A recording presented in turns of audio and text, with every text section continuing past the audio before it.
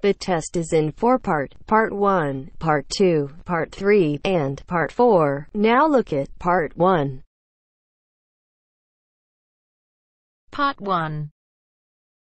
You are going to listen to a conversation between two friends who are discussing the organization of a party. As you listen, answer the questions.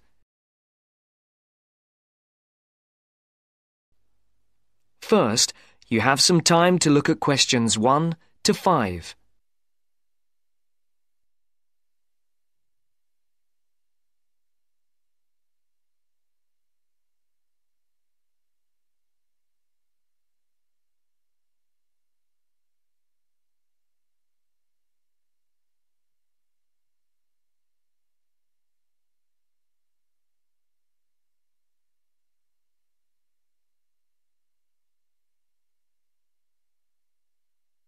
Now the test will begin. You should answer the questions as you listen, because you will not hear the recording a second time. Listen carefully and answer questions 1 to 5. Hi, Matt. Right on time. Have you been waiting long? Mm, five minutes? The buses were held up on the high street. Otherwise, I would have been early. Yeah, there's something wrong with them today. Yes, I think so. OK, what shall we do? Shall we go and have a coffee? Yeah, that would be nice. There's that place on the corner over there. It does really nice coffee and cakes and things, and at this time it's usually very quiet, so we'll be able to talk. OK, let's go there then. So, when's the party going to be? Well, it has to be at the end of September, before we all leave for university. We've plenty of time then. We don't go for another five weeks, do we? Hmm. Well, we haven't really got that much time if you think about it. There are only a couple of weeks at the beginning of September when all of us are around. Oh, yes, I forgot. Nazrin, Phil, and Nikki and all that lot have gone off on holiday. And I'm away for two weeks from tomorrow. So, what does that leave us then? As far as I know, we're all here between the 19th and the 30th of September. Will Sandra be around then? I know that she has a whole string of family birthdays at that time, and she might not be available. Hmm. Well, let's make a note of that, and we can contact her about it. OK. Shall we settle for the 21st of September then? What day is the 21st? It's a Saturday. Is that OK? That's fine. Before the conversation continues, look at questions 6 to 10.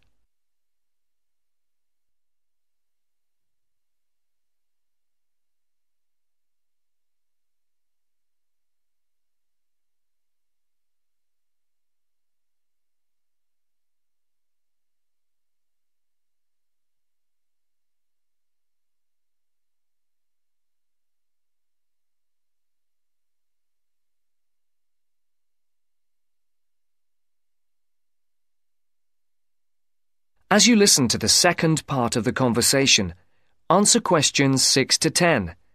For these questions, there are three alternatives A, B, and C.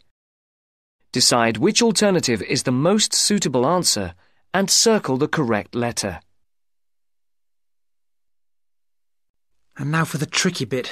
Where are we going to hold it? Well, I spoke to Nikki last week and she volunteered her place as they have a huge house and garden. Oh, fantastic. Will her parents be around? Yeah, I think so, but she said they won't mind. Oh, right. Well, my parents wouldn't like it at all. Hmm, nor mine. but is it definite? Yes. When I spoke to her, she said it was definitely on. I'll just have to confirm the dates with her. We thought it would be one weekend in September, so I'll just have to make sure that that one is okay. One thing Nikki suggested, we could have a daytime party, as we could be outside if the weather is fine. Oh, wow. How far out does she live? It's not that far. Do you know where West Road crosses the bridge? Yeah. It's the first house on the right, with that huge drive up to the front door. Oh, right. I know exactly where it is. The road is off the A33 and runs north, then over the bridge, and first on the right. I know it. Ah, the place is amazing. You know it has a big swimming pool. Does everyone know where she lives? Most of her friends do, but not all. But it doesn't matter, as we can put this map Nikki sent me in with the invitation. How shall we do the invitation? We can do it on the computer. I can scan the map, and we'll put it all onto an A4 page. Is this the address? Can I just write the address down? It's 93 West Road, and I'll take the phone number. It's 477130. Right. There's one other thing. Yes? We're all giving £10 towards refreshments and food. There'll probably be a barbecue. Do you think that's enough? Oh, right. Yeah, that's fine. And everyone will have to help tidy up afterwards, including the boys.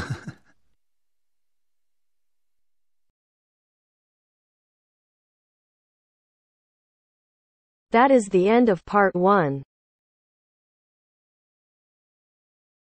You now have half a minute to check your answers.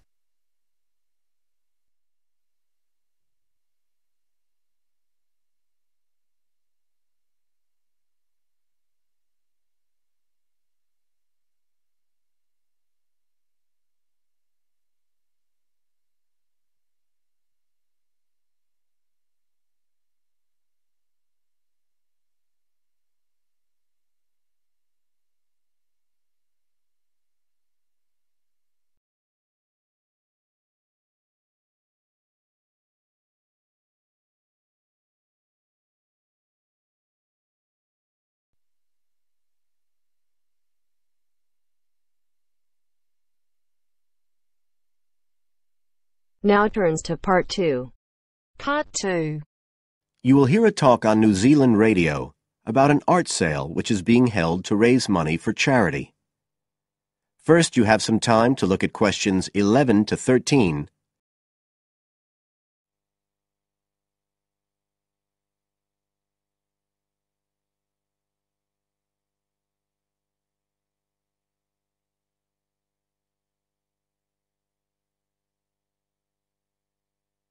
Now listen carefully and answer questions 11 to 13. One of the most anticipated art events in Christchurch is the charity art sale organised this year by Neil Curtis. Neil, tell us all about it. Well, Diane, this looks like being the biggest art sale yet. And the best thing about it is that the money raised will all go to charity. So, what you probably want to know first is where it is. Well, the pictures will be on view all this week, most of them at the Star Gallery in the shopping mall. But we have so many pictures this year that we're also showing some in the cafe next door. So do drop in and see them any day between 9 and 5. Now, if you're interested in buying rather than just looking, and we hope a lot of you will be, the actual sale will take place on Thursday evening with sales starting at 7:30. Refreshments will be available before the sale starting at 6:30. We've got about 50 works by local artists showing a huge range of styles and media, and in a minute I'll tell you about some of them. You're probably also interested in what's going to happen to your money once you've handed it over. Well, all proceeds will go to support children who are disabled, both here in New Zealand and also in other countries. So you can find an original painting, support local talent, and help these children all at the same time. Before you hear the rest of the talk, you have some time to look at questions 14 to 20.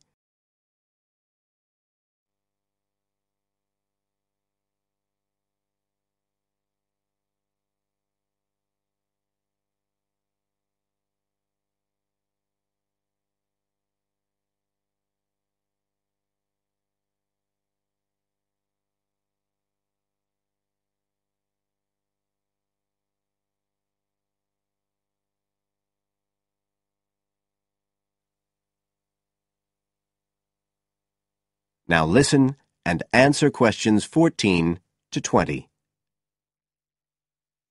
Now, let me tell you a bit about some of the artists who have kindly agreed to donate their pictures to the charity art sale.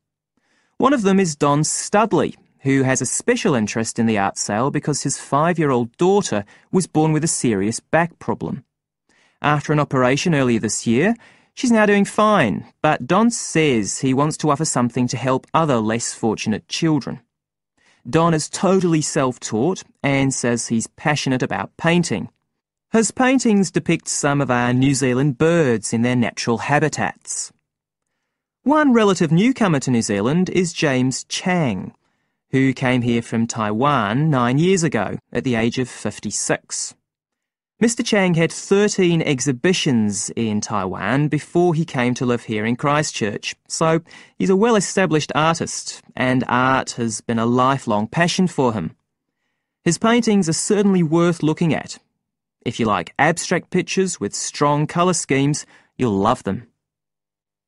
Natalie Stevens was born in New Zealand, but has exhibited in China, Australia, and Spain. As well as being an artist, she's a website designer. She believes art should be universal, and her paintings use soft colours and a mixture of media. Most of her pictures are portraits, so watch out, some of them may even be friends of yours. And then we have Christine Shin from Korea. Christine only started to learn English two years ago when she arrived in New Zealand, but she's been painting professionally for over 10 years, and she sure knows how to communicate strong messages through the universal language of art. She usually works from photographs and paints delicate watercolours, which combine traditional Asian influences with New Zealand landscapes, giving a very special view of our local scenery. Well, that's all I have time to tell you now, but as well as these four, there are many other artists whose work will be on sale, so do come along on Thursday. We accept cheques, credit cards, or cash. And remember, even if you don't buy a picture, you can always make a donation. That is the end of part two. You now have half a minute to check your answers.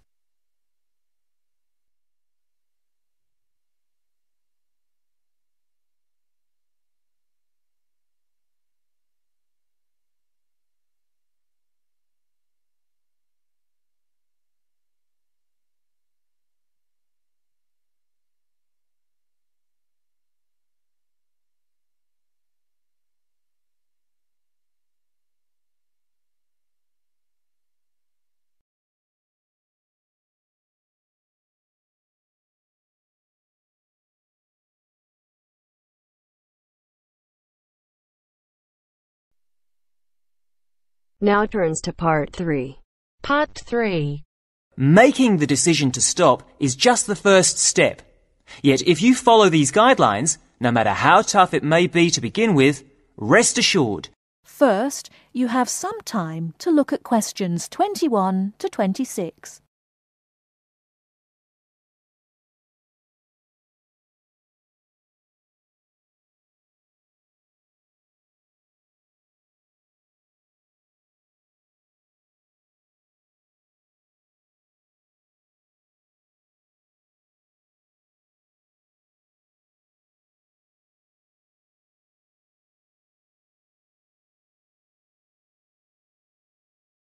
Now listen carefully and answer questions 21 to 26. Good afternoon. Welcome to Stop Smoking Now. You're all here today because you've decided to stop smoking. However, making the decision to stop is just the first step. Yet if you follow these guidelines, no matter how tough it may be to begin with, rest assured you will be on your way to becoming what you want to be, an ex-smoker. The first thing to remember is that there is not only one way. What I'll give you today are various methods you can choose from. They all work and they can all help. The first method I would recommend is based on something we all have, but in different degrees, namely willpower. Of course, just making the decision to stop is an enormous act of willpower alone. But what exactly does this mean? It means having a strong mind, waking up every morning and telling yourself that you will not have that cigarette, no matter how much you may want one. To do this successfully, you really have to be determined to stay focused. You need to be in the right frame of mind. But this isn't as easy as it may sound, and it may mean doing other things to take your mind off having that cigarette, particularly when the urge is strong. I found that different things can help you do this, like taking up a hobby, or having a smoking buddy, someone you can phone up when the going gets tough, a friend who can help you think about something else. Remember that each time you don't have a cigarette, you will feel better and stronger. Of course, this method does not work for everyone, but there are other ways to help keep you on track. Another way is to use smoking aids. There are many types, so find one that suits you best. Take, for example, nicotine patches. You put one on every day and it gives you a controlled nicotine dose. Basically, you keep reducing the amount until your body stops craving nicotine. As your body gets used to less nicotine, you may experience withdrawal symptoms. Don't worry about feeling embarrassed people will notice, because many nicotine patches are see-through. So, where do you get them? Well, you can buy them from your local pharmacy or supermarket. You can also ask your GP for a prescription. Before you hear the rest of the talk, you have some time to look at questions 27 to 30.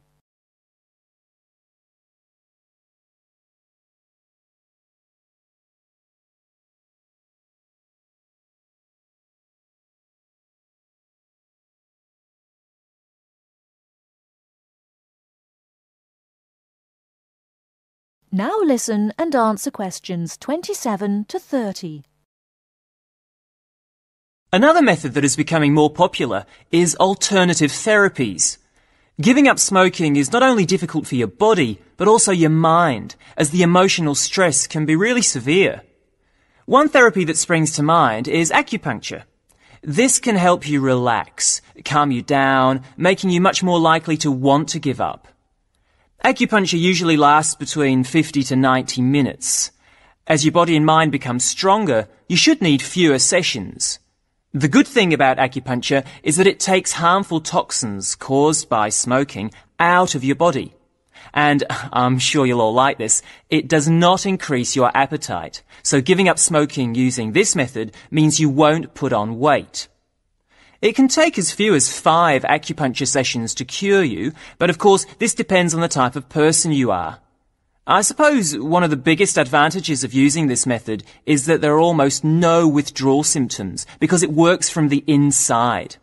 What I mean by this is that acupuncture takes away your wanting to smoke, and this feeling, on top of the feeling of calmness, stays with you after the treatment is over.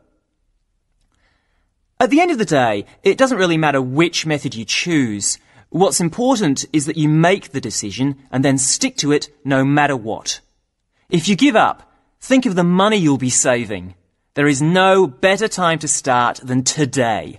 You can kick the habit for good. That is the end of part three.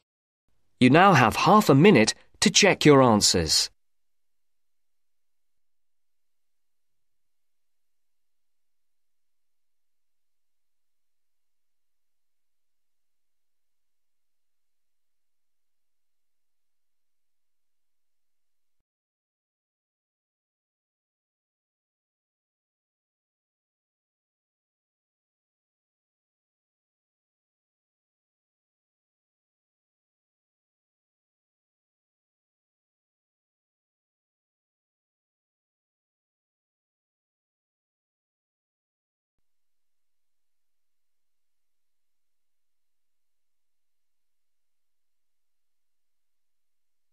Now turns to part four. Part 4. You will hear part of a careers advice talk on working freelance. First, you have some time to look at questions 31 to 40.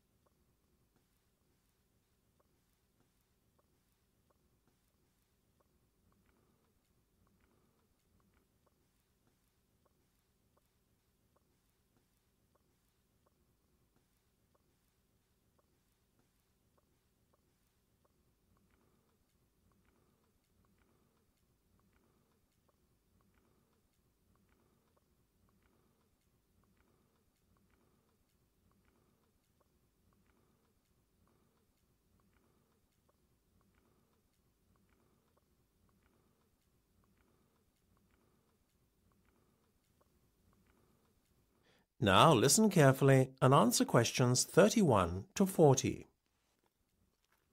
Working for an employer in a 9 to 5 job has long been the accepted norm.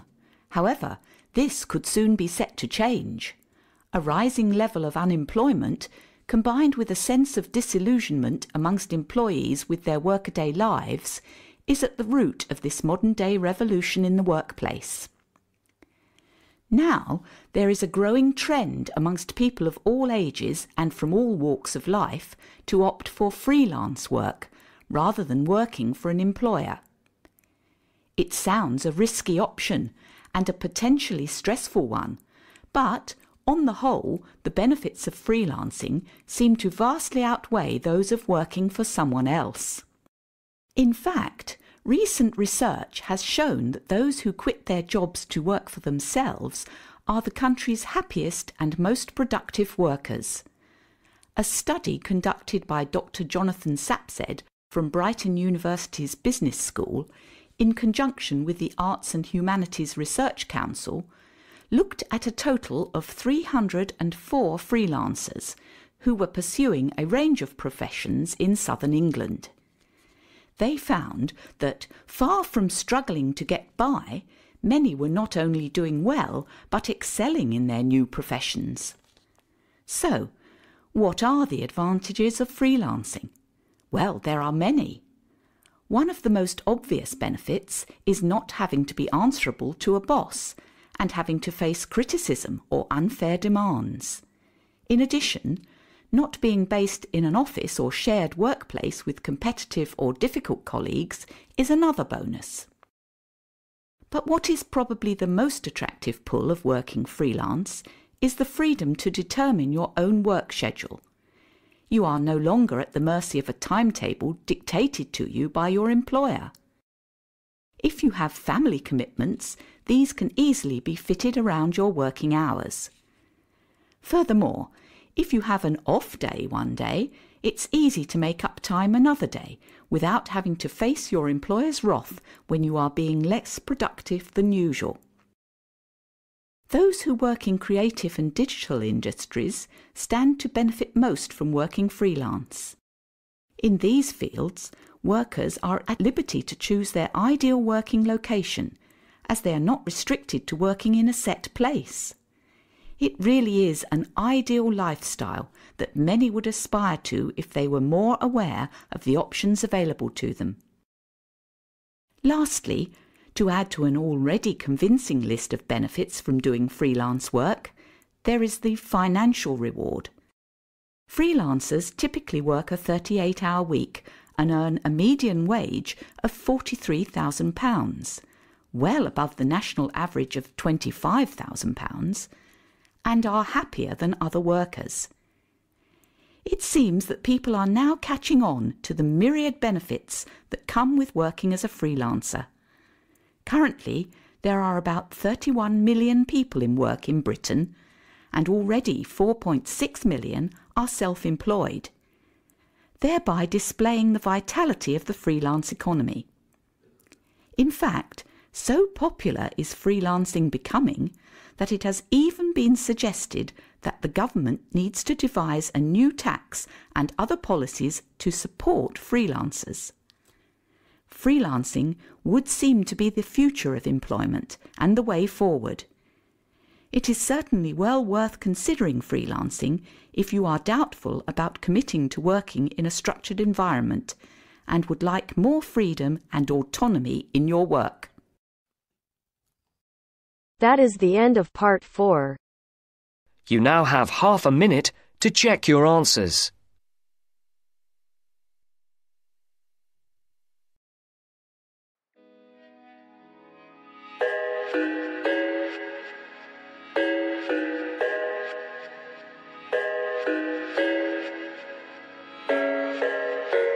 I thought I had it figured out Believed in us we were meant to be, no doubt. A teenage love. Everybody else could see The way we were Living in a fantasy. When I kiss her I don't know